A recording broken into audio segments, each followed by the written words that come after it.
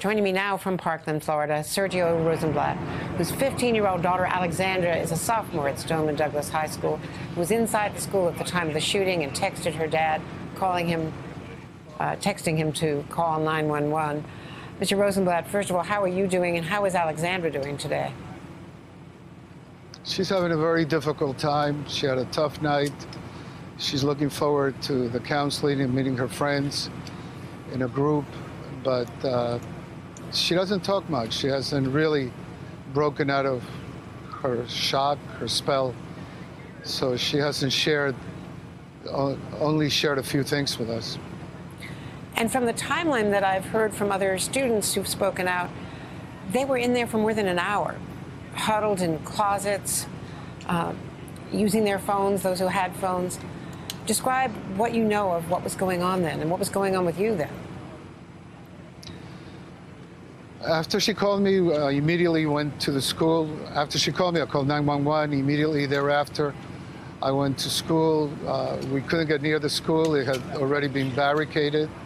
I texted with her for the first 20 minutes, and then our communications were cut off. We did not speak again or text again until she came out of school. So there was a relief at the beginning that I knew she was okay, and that, that turned into real terror knowing or not knowing uh, how she was.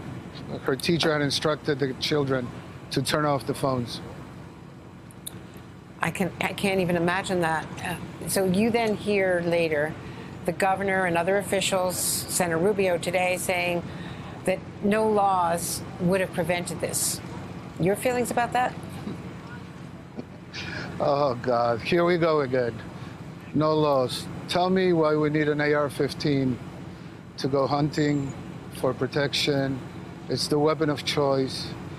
We live in a society, yes, I agree, we need safety or better safety in the schools. Yes, we need better mental health in the schools. But we need to, I don't want to take anyone's handgun. That's not for me to say. But the NAR-15, it's absolutely not relevant to anything we do as a society. Why don't we listen to law enforcement officials who are dead set against the use of these weapons and the sale of these weapons? We're still, they're still accepting blood money. Governor Scott, I heard President Trump today, and he didn't address the gun issue or the weapons issue. He addressed, and correctly so, better safety in schools, better health care. Well, finance it if it's better. You want better. You want to protect our kids. He said, you know, he gave this great speech about how wonderful kids come talk to us. We're here to help. No, you're not. You're not. You're, you're just 30 second clips. And when everybody picks up and goes here, what happens to those 17 families that are crying for their kids and their friends? What happens to those parents? You know, my daughter is, is, is, is, is she, she's, she's almost innocent and she, she's not a victim in the sense of victim. The victims, the real victims, are those who are laying down, the parents that lost their kids. We shouldn't have to send the kids to school and worry about when they're coming back. But these are all sound bites. It's time to do something. It's time to you know, stop accepting blood money. You know, don't be beholden to the NRA. You work for us. You don't work for the NRA. It's we the people. It's not we the corporations of the United States of America. That's my point. And I'm frustrated. I'm angry. I'm angry for those kids. I'm angry for my friends. I'm angry for the tears I saw. I'm angry for the faces I saw. And you know, I, I, apologize for running on, but I, I'm, I'm passionate about what happened here. But in two months, we're going to be callous and we're going to forget about this. That's the world we live in. Mr. Rozenblat. So if Trump wants to do something, uh, I'm sorry. No, go ahead. Go ahead. And if President Trump really means it, show leadership. Do something. Do something. Come here. Not don't come here and throw paper towels like in Puerto Rico. You know, the wall, the wall's not going to protect me. I'm not afraid of a Mexican invasion. I'm afraid of kids going into school with AR-15s and doing this again and again and again and again. And then we're all going to be here.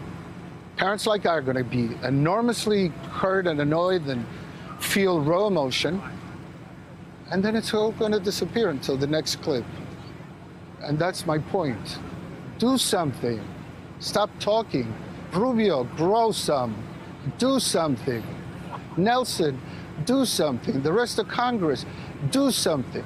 Until your kids get shot, then you're going to do something. Is that what it's going to take? I don't get it.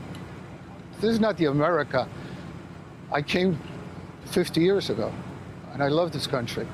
I don't know this country anymore. I don't understand it. I don't know how to explain it to my kids anymore. I don't know what values are out there. And these kids are disenfranchised. Who are their heroes? A video game? Social media? Instagram? We got a lot of work to do, but let's start doing something. That's all I recommend and I ask. Sergio Rozenblat, Mr. Rozenblat, don't apologize for your passion. Thank you for sharing your thoughts. Thank you, Ms. Mitchell. Uh, Thank you for having we me. really, well, we're thinking of you and Alexandra and all the other innocent victims because it's not only the, the dead and injured. Everyone has been victimized in your community by this.